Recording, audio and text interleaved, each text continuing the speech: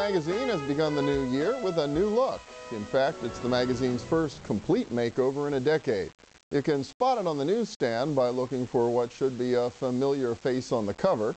PNC Financial Services CEO Jim Rohr, who is, of course, the sponsor of our region's business and also Pittsburgher of the Year. Betsy Benson is publisher and vice president of Pittsburgh Magazine. And welcome back. Good to see you. Great to see you, Bill. All right. A, a makeover for the magazine. What, what's behind that? Well, you know, we haven't been redesigned really from top to bottom in, like you said, over 10 years because it's a lot of work. Hmm. um, we started back in June just taking stock of um, our city, first and foremost, and how it's changed, and also our magazine, the pages of our magazine, and how we order that content.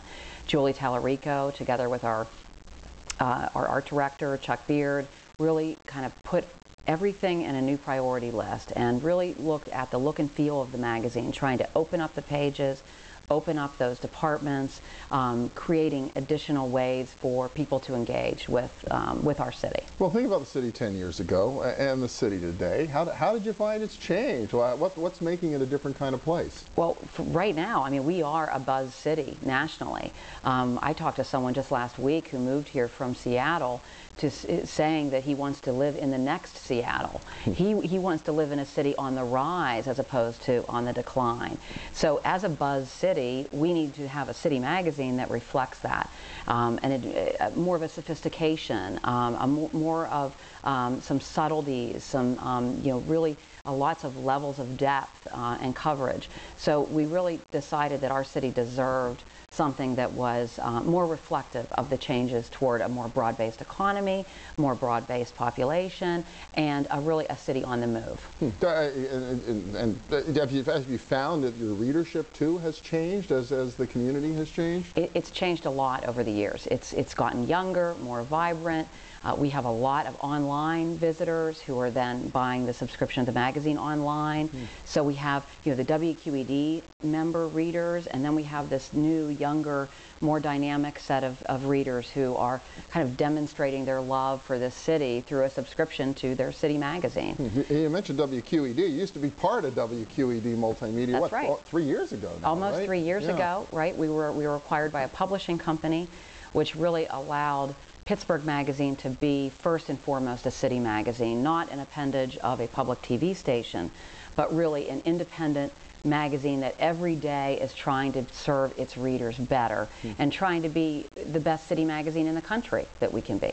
And has it changed kind of your thrust in editorial beyond just the look and feel of the magazine, having a different type of ownership, that different focus? No, the ownership really has nothing to do with our content. Huh. Our content is dictated by what our editors and what you know we think reflects our city the most, uh, the best. You know, we are on the ground deciding what the best stories and the best coverage is for Pittsburgh Magazine based on what our readers want. Hmm. Yeah, think about Pittsburgh 10 years ago and today. Uh, uh, one of the rationales for putting Jim Rohr on the cover Oh, well, I mean, eh, you can't really argue with it. I mean, Jim Rohr is not just a community leader and a corporate leader, but really an example of someone who has invested in this region and has made sure that PNC has stayed headquartered in Pittsburgh and has thrived here. They're not just one of the largest employers, but they contribute to our economy in a multitude of ways. I mean, I think, you know, most people know Jim um, as somebody who's, you know, a great family man, married 40 years, you know, to Sharon, um, involved in a million, you know, different causes. Um, but he has really made sure that that company, even though it's uh, a national company uh, with global reach, making sure that it's Pittsburgh first. And I think we all get the benefit of that. Well, and it's interesting, Pittsburgher of the Year is actually not a Pittsburgher by birth, right? That's He's right. from, of all places, Cleveland. I yeah? know. It's a, it's a shocking footnote in his resume, uh, but he certainly has uh, taken ownership of this, this, uh, this town. And it makes a nice kind of a, a nice story that a Clevelander can become a Pittsburgher of the year if they try hard enough. Well, and it speaks a little bit to the evolution of what's happening around us. You mentioned the person from Seattle. We're beginning to see people after, what, 30 years or, or more moving into the region and then putting down roots here. And we, are creating opportunities for those people. And we think the magazine spotlights some of those magazines, some of those opportunities that they have when they're coming here. So what's ahead this year? What kind of issues or, or opportunities or whatever you're you looking at? What, what are we going to see in the pages of the magazine? well, we have kind of our favorite issues, you know, our best doctor Doctors in May, uh, very popular newsstand issue where we spotlight all the best in our uh, excellent medical care that we have here in Pittsburgh. We also have the best restaurants issue in June, and that comes with the big party at Heinz Field on June 4th, where you get to sample the best food from the best restaurants all in one night.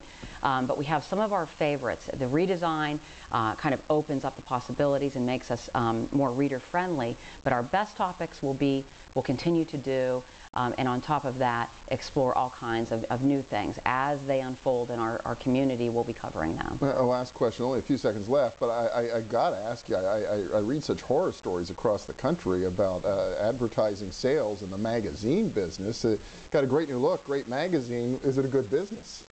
It is a good business, although it's been not a great business for a few years with the media recession, the recession in general.